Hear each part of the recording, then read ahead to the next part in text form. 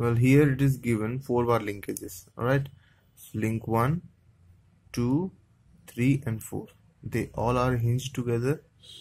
Now we have to find omega 4 so omega 4 has to be found and omega 2 is given which is clockwise. So I'm going to solve this uh, by I center method okay? So I center. Us let's just uh, write this down. For this is 1 2 2 3 all right. Let me just circle it. And uh, 3 4 and 1 4 all right. So these are the I centers which you can find just by speculating them now we have to find two more. There are two more I centers which are required. So two more and how can how can you find uh, it, it can be easily found by Aronhold-Kennedy theorem. So if we just uh, extend these links and this link this link would be this uh, instantaneous would be 2 4 and this one would be 1 3 how did you find it? Simple. Just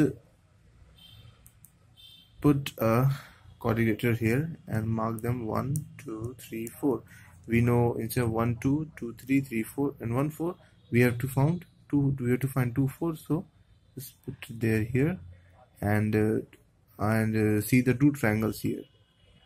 And uh, uh extend these triangles where they meet when where, wherever they meet that point is i center 2 4 so i center 2 4 means uh, um, the links 2 and 4 are rotating about i 2 4 okay so now we have to find the angular velocity of omega 4 now uh, let's just assume that uh, this 2 4 point is first first on link 2 so let me just draw it. Link 2 is here.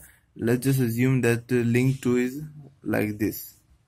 All right so this is the 0.24 and this is 1 2 now omega 2 is given. So if i want if i want to find uh, if i want to find uh, v24 uh, velocity of this point about this link so what I have to do? It's simple. This link this whole link is rotating about 1 2 right? So if you want to find the velocity of this 2 4 you just have to multiply the angular velocity to the distance between them. So it is omega 2 into 2 4 minus 1 2 simple.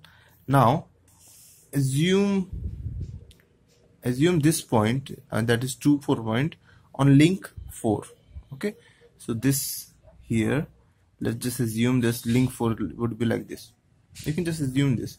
And this is the point 2 4 here and this is 1 4 and uh, we know that uh, this uh, this link 4 this uh, whole link 4 is rotating about this point. So we have to find we have to find the velocity of 2 4 okay? With respect to link 4 let me write this link 2 and link 4 okay so you have to find this. So v 2 just put it here. Okay so v 2 4 is equal to what would be? Omega 4 2 4 minus 1 4 okay so here we have given we have found two velocities. First with respect to link 2 and then with respect to link now the velocities are same of this point right?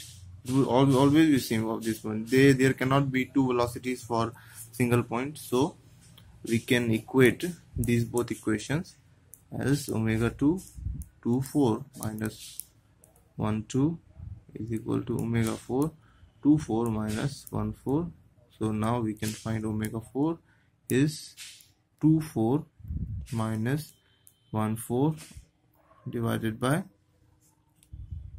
2 4 minus 1 2 oh sorry sorry sorry. This is wrong.